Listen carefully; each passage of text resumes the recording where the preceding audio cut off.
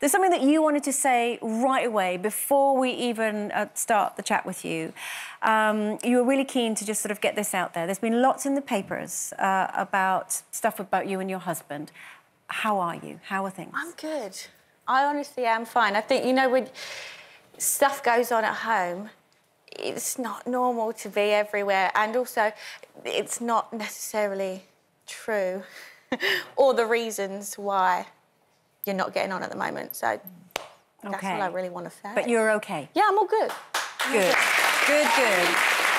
And congratulations. Thank you. How how many weeks, months are you? I always forget, guys. Second time round. Uh, 32 weeks. In the middle of 32 weeks. It is funny that second time round, isn't it? Because the first time, every single You know thing- everything. You know what yeah. fruit size you But of are. course, you were looking after another little one Yeah. at the same time. Is she excited? Yeah, she's so excited. How old is she now? Three. Mm. You have got that lovely mum to be look though, that glow. Yeah, absolutely.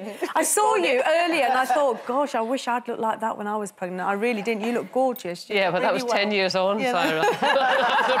And how, how has the pregnancy been? Has it been okay? Yeah, this time round I've been like the sickness. I, I had nothing with it. Like you wouldn't, I wouldn't have even known I was pregnant. Yeah. Like I was so lucky. I was working the whole way through.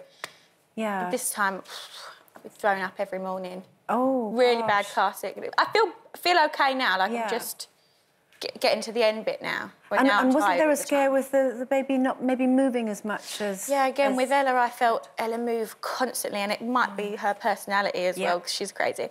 But um, this baby just doesn't move as much, and I. It got to the point where I was like, okay, do you know what? I'm a little bit worried. Yeah. And they always say, like, the midwives always make make you feel like if there is anything, just come in, just pop in. And so I did, and everything was fine. I'm just, uh, everyone says I've got a small bump as well, so I was quite concerned. Right. Like, 32 weeks, everyone's like, oh, You just got a little dozy little mouse of a baby in yeah, there. and that's There's what I think is actually the resting. case. But they were, they kind of thought it was small as well. Yeah. But we did all the tests and everything's, Everything's fine. fine. So it's all Good. So the you, fall you off the worked roof. all the way through with your, your first baby. Mm-hmm. And then. Yeah. did, what, what, what do you feel about going back to work? Did you take time off? How did you I organise all that? took, so I took a year off, but I went back th- three months afterwards for about a month to film like an ending of a story, just like they, they needed me for something, Right. Uh, story wise. And then, and I did feel like that was too soon. Right. For okay. me, I just constantly missed Ella and mm. felt really guilty Yeah. and hated everybody. like anybody that was with her, I was like, okay, cool. Mm. they tell me stories and I'm like, I don't really care. don't tell me about my own child. I just went really like crazy. I hated it.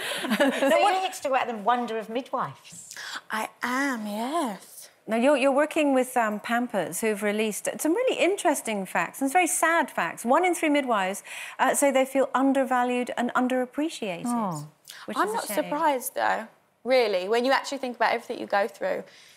And you do kind of sometimes forget to thank the people that are pretty much doing everything for you and pretty much making sure your baby comes out as safely as possible.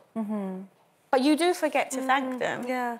And It's did, so easy to forget. did, do you, did you have the same midwife for your first child? The No, same not the whole time, But you've got your midwife here today, haven't you? One of them, One yeah. of them, yeah. She's in the audience. Weirdly, actually, because we were doing it- the photo shoot, for, and um, she was one of the midwives. Actually, when I went into the hospital, she was one of the midwives that was there, ra- completely random. Okay. Oh, wow. What was the photo shoot? Sorry. For the Pampers. Oh, okay. Ah. okay. And it just happened to be Happened your to be her, yeah. How bizarre. Like re- literally crazy. And obviously, second time round, you, you know, you sort of know what to expect, which does make things a little bit easier. We were talking about um, there's such a tiny percentage of midwives that are male. Would it? It, it clearly bothers Nadia. Would it bother you if, uh, or who turns up as long as they're good? I feel like definitely birth-wise, I don't even think I would have noticed. Mm. Like you mm. just don't think about these. things. Again, I had smear tests and everything from men. I Yeah. it didn't. I don't know. It just didn't bother me. But I get that it would bother some people, and I do agree that you should have the choice. Yeah. I do feel like if you didn't want that, you should be able to go. I'm actually not comfortable with that. Yeah. But at the same time, I mean, literally the milkman could have walked in and done it. I would not have known any you know what? different. That Made no such a good point because when you are in that moment, You just like anyone help yeah. me. I mean, Get I distinctly out. remember lying on that trolley because it was an emergency cesarean, and there was a corridor going down that end, and the doors were there, and I hate to say this, folks, I'm sorry. I was stirrups, the whole thing, you can imagine.